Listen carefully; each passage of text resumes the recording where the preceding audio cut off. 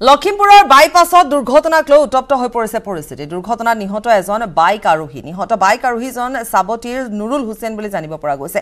অৰুণাচলী বাহনৰ খুন্দাত নিহত হৈছে যুৱকজন। দুৰ্ঘটনাৰ পিছতে ঘটনাস্থলীত উত্তপ্ত পৰিস্থিতিৰ সৃষ্টি হয়। চালকৰ লগতে বাহনত আক্ৰমণৰ চেষ্টা চলাইছে উত্তেজিত ৰাইজে।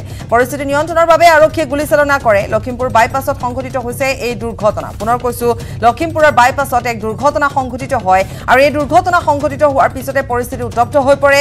দুৰ্ঘটনাত এজন বাইক আৰোহী নিহত হৈছে। নিহত বাইক আৰোহীজন চাবতীৰ নুৰুল হুছেইন বুলি জানিব পৰা গৈছে। অৰুণাচলী বাহনৰ খুন্দাত লোকজন নিহত হোৱাৰ পিছতে দুৰ্ঘটনাস্থলীত পৰিস্থিতি অধিক উত্তপ্ত হৈ পৰে। চালকৰ লগতে বাহনত আক্ৰমণ কৰে। স্থানীয় ৰাইজে উত্তেজিত ৰাইজে পৰিস্থিতি নিয়ন্ত্ৰণৰ বাবে আৰক্ষীয়ে গুলীচালনা কৰিবলৈ বাধ্য হয়। আৰু এই ঘটনা সংঘটিত হৈছে লখিমপুৰৰ বাইপাছত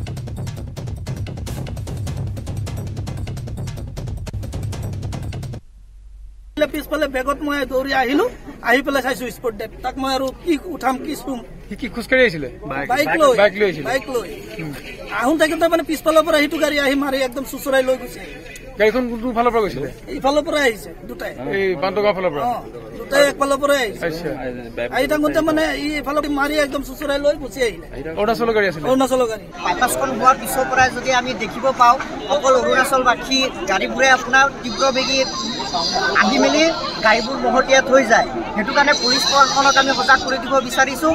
মুকলি নোহোৱালৈকে বাইপাছখন শ্ৰদ্ধ কৰি দিব লাগে। আৰু আজি যি ঘটনাটো হৈছে সেই ঘটনাৰ ওপৰত উচিত তদন্ত কৰি শাস্তি অতি সোনকালে শাস্তি প্ৰদান কৰিব লাগে। আৰু যি দুখীয়া মানুহঘৰক কি অতি সোনকালে ন্যায় দিব লাগে